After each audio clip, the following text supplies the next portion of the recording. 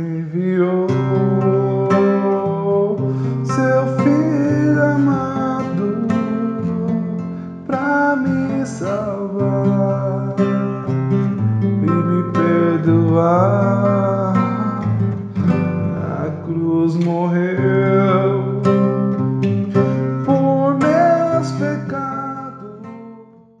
Bom, como prometido, nessa aula eu vou ensinar para vocês acorde com sétima que vai ajudar bastante você enfeitar as músicas, como exemplo dessa música que eu acabei de tocar, que você acabou de ouvir um trechinho dela, onde eu usei dois acordes com sétima. Os acordes com sétima, eles são usados exatamente para fazer uma preparação, quer dizer, ele vai preparar a entrada de um acorde na música. Só que isso é tema para a próxima aula ainda. Por enquanto a gente vai ver só a montagem dos acordes. Então, com base naquilo que a gente já aprendeu também, vai ficar muito mais fácil da gente conseguir fazer essa videoaula, por quê? Porque a gente já sabe fazer pestana. Se você ainda não assistiu a aula de pestana, volta um pouquinho, eu estou deixando aqui o link da aula de pestana para você, para você poder assistir e já aprender a fazer a sua pestana. Se tiver alguma dificuldade, lá nesse vídeo eu estou ensinando, na verdade são dois vídeos falando sobre pestana. Existe possibilidade também de fazer os acordes com sétima no instrumento, no violão, sem a necessidade da pestana, quer dizer, fazer ele sem pestana. E como a gente já aprendeu a pestana, o maior e o menor, vai ficar bem mais fácil da gente encontrar agora as notas com pestana e com sétima. Bom, para fazer os acordes com sétima é bem fácil, não, não tem tanta complicação. Embora você viu eu fazendo esse acorde e fazendo depois ele assim, que é usando a terceira corda na terceira casa, tá? Isso daqui seria um Dó com sétima, que é uma preparação para o Fá tá? Só que a gente não vai ver os acordes assim, nós vamos ver como? O Dó maior e o Dó maior com sétima. Você pode fazer assim, ó, fica um pouco mais fácil para fazer. Tá vendo? Isso aqui é um Dó maior com sétima, tá? A gente já aprendeu a fazer a pestana, então a gente leva como base essas duas cordas aqui, tá? Essa corda aqui, que é a corda Mi, que é a sexta corda, ela tem a Mi, que seria solta, que seria mais ou menos isso daqui, né? Porque tem a pestana do próprio violão, por isso que a gente faz o Mi assim. Tá? Então a gente tem o Fá aqui, a gente tem o Fá sustenido maior, né? Ou menor, perdão. O Sol maior, Sol menor o Sol sustenido e o Sol sustenido menor.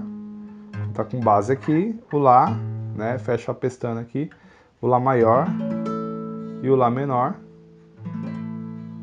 Tá? E aí eu tenho o, o Si bemol aqui, Si bemol menor, o Si maior, Si menor, o Dó maior, o Dó menor porque eu tô tirando base aqui, ó, tá? Meu baixo é aqui, ó. Tá? Menor, ó. Aí eu tenho o Dó sustenido também maior aqui, né?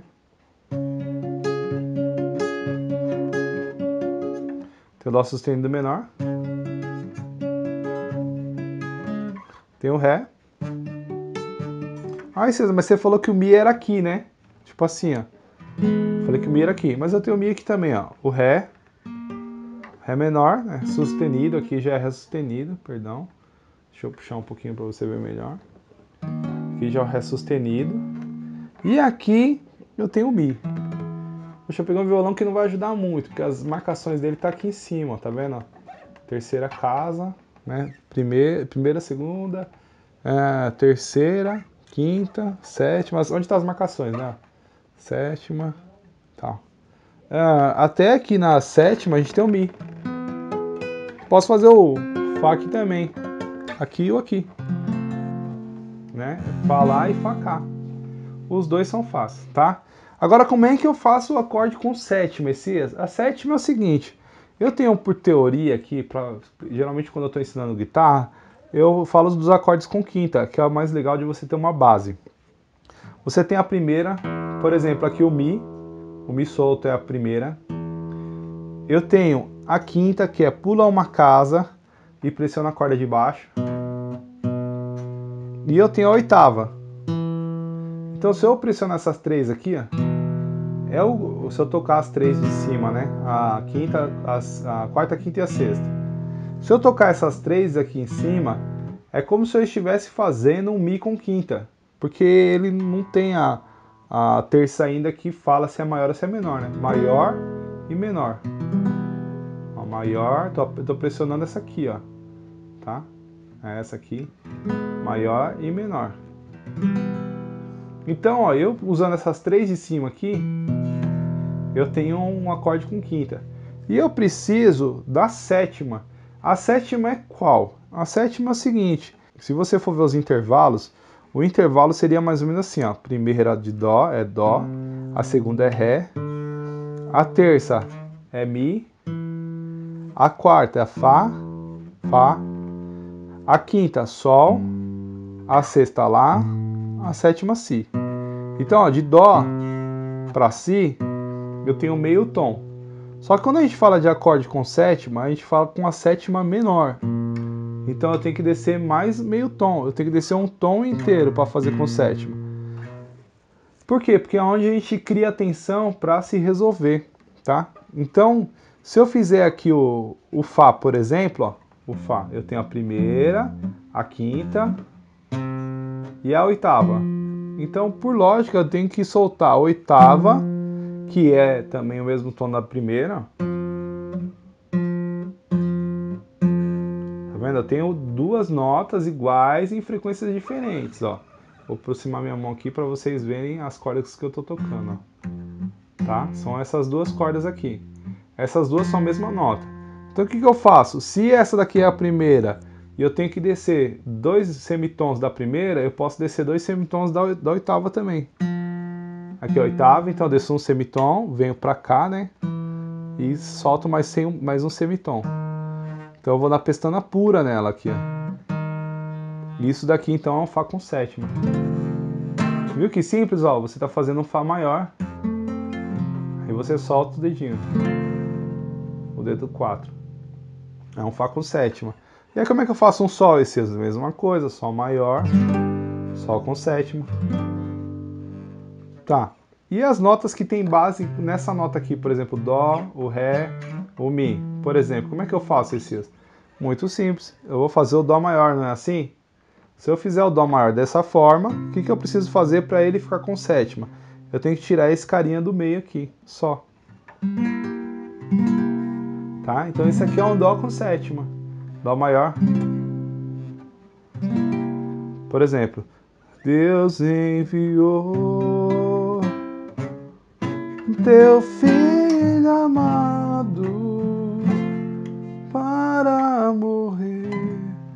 Entendeu? Eu fiz o Dó maior. Depois eu fiz ele com sétima. Eu não gosto de fazer muita nota assim, porque meus dedos são grossos. Então, para pôr dentro de um violão desse aqui, eu, eu sofro, né, dentro de uma casa. Então, eu tenho que deixar ele espaçado e... Inclusive, falar desse violão aqui, esse violão eu consertei, acabei de consertar ele, na verdade eu estava testando, e como eu estava regulando ele testando, eu aproveitei para fazer a, a, filmagem também. Eu estou deixando para você aqui um link aqui em cima, aqui, estou deixando o um link, ou então no, na descrição aqui também estou deixando o link para mostrar o que foi que eu consertei nesse violão. Confere lá, você vai ver que o serviço ficou muito bacana, bem legal. Bom, e agora como é que eu faço os acordes menores? Bem simples também. Eu não fiz assim maior com sétima e soltei, é sétima. Se eu para fazer um acorde menor com base nessa corda, por exemplo, o Fá maior, eu tenho que soltar o do meio, o dedo 2, então é só eu soltar esse aqui também. Isso aqui é um Fá menor com sétima. Quero dizer que o Fá ele é menor, né? Ele está com a tríade, a, a terça da tríade dele é menor. Só que aí eu estou incluindo aqui a sétima, tá? Então o Fá é menor e com a sétima. Quando vocês ouvirem falar de um acorde com sétima maior, por exemplo, o Dó com a sétima maior. Sétima maior é isso aqui, tá? Isso aqui é sétima maior, ou sete mais, né? Por quê? Porque é a sétima justa do, do sol, do dó, tá? Eu tô aqui em dó e tô tocando si. Aquele mesmo esquema. Tá vendo? Primeira, primeira, quinta, quinta a gente pula uma, uma, uma casa para frente e aperta de baixo e a oitava. E essa oitava eu desço meio tom ou um tom inteiro. Quando é sétima, um tom inteiro. Para fazer o acorde sem pestana, eu não indico você ficar se matando tanto agora, mas por exemplo, você que já aprendeu o Dó maior e quer fazer com sétima, você já aprendeu aqui. Ó. Então, Dó com sétima é isso aqui, o Ré maior tá aqui, o Ré com sétima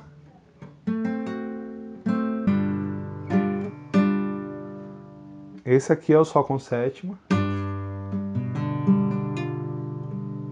O Lá com sétima. O Si não tá para fazer sem pestana também. Si com sétima. Tá? Si com sétima.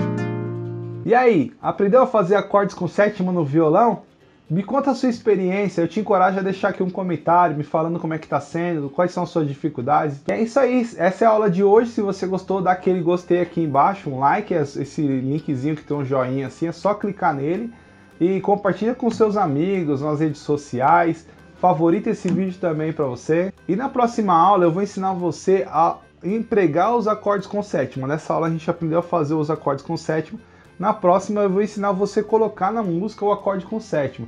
Então, se você não é inscrito no canal ainda, já se inscreve aqui no canal para você ficar por dentro de toda a atualização, de todas as videoaulas que eu publico aqui no meu canal. Eu estou deixando para você então aqui esse vídeo que é do de pestana, para você aprender a fazer a pestana se você não sabe fazer ainda. E vou aproveitar também para te deixar aqui nessa, nessa videoaula mesmo o link dessa aula aqui, que é a aula de campo harmônico. É uma aula super legal, super interessante e bem resumida não é grande, o assunto de campo harmônico é extenso demais. As videoaulas que tem por aí são de 20 e poucos minutos cada parte, geralmente três partes, né? o vídeo, de, o vídeo de, de 90 minutos mais ou menos. O meu tá bem curtinho, tá bem explicadinho, dá para você entender bem o básico do que, que é, e isso vai te dar fundamento para você na próxima aula, né? Sem essa aula vai ser um pouco difícil fazer a próxima aula. Beleza? Então é isso aí, até a próxima videoaula e shalom, shalom, um abraço, falou!